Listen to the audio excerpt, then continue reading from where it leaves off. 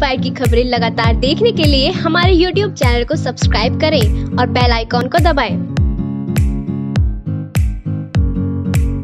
इस खबर के प्रायोजक है जैना ज्वेलर्स, आबुलेन, मेरठ। नमस्कार, आप देख रहे हैं फ़र्स्ट बाइट डॉट टीवी सरकार के जनहित में कई योजनाएँ हैं, लेकिन ब्यूरोक्रेसी इसके हर बार आड़े आ जाती है। योजना की जानकारी लेने पहुँचे किसानों से, उप कृषि निदेशक ने दुर्व्यवहार किया और चले जाने के लिए बोल दिया। डिप्टी डायरेक्टर द्वारा अभद्रता करने के विरोध में किसानों ने दिल्ली रोड स्थित कार्यालय पर धरना शुरू कर दिया। भारतीय किसान यूनियन ने कार्यालय पर डेरा डाल दिया। है एक किसान ने अनशन भी शुरू कर दिया। बाकियों का कहना है कि किसानों की योजनाओं की जानकारी न देने, वे लोगों से अभद्रता करने वाले डिप्टी डायरेक्टर के खिलाफ कार्रवाई की जाए। इन लोगों का कहना है कि अन्नदाता के साथ इस तरह का व्यवहार बर्दाश्त नहीं किया जाएगा। देखो जी सरकार जो किसानों के लिए राहत करती है जी।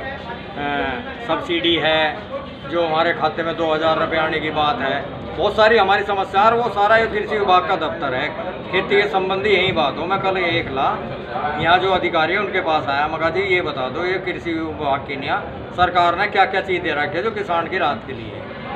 इन्होंने कही कि हम नहीं बताओगे अखबार पढ़ करो या इंटरनेट पर देखो। मगर भाई मेरे पे तो इंटरनेट आता नहीं देखना देखो तो हम गारंटर नहीं है। इतने में एक दूसरा अधिकारी है वो कह लगा आप चुप हो आप बोल कैसे रहे मगर यार बोलने के लिए आया हूँ मैं यहाँ अपनी बात कह रहा हूँ तो मुझे धमका क्यों रहा ऐसी धमका धमकू मैं उन्होंने मेरा अपमान करा। साबदा भी शब्दों सब और कैट अपमान करा। मैं वहीं बैठ गया उनके ऑफ़िस में नीचे। वे कह लगे ऐसे उठो डीएम के यहाँ जाके धरना दो। मैंने कि मैं धरना यहीं दूँगा डीएम साहब के यहाँ क्यों दूँगा? गलती तो तुम कर रहे हो। धरना यहाँ दूँगा। उसके बाद भी ये लोगों ने ना तो मैं जैसे हमारे लोग आने लगे एक दो दो आने लगे उसके बाद भी ये बदतमीजों से बन रहा है बद, वो बदली हुई।